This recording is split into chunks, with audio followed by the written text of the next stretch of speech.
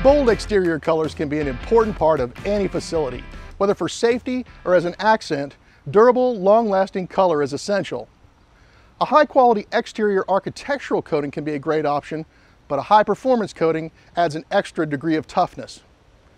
For safety colors, like on these bollards, I like Pro Industrial Hydrogloss. It's a one-component urethane, and it gives excellent gloss and color retention with no special application properties. For the toughest exterior colors, Pro Industrial water-based Acrolon 100 is a great choice. It's a two-component urethane designed for exceptional exterior durability. Exterior accents stand out, but make sure it's for the right reason, not because they're fading or degrading. Choose a coating designed for the conditions at your facility. For more information on selecting the right high-performance coating for your facility, download the Pro Industrial app or visit Sherwin-Williams online.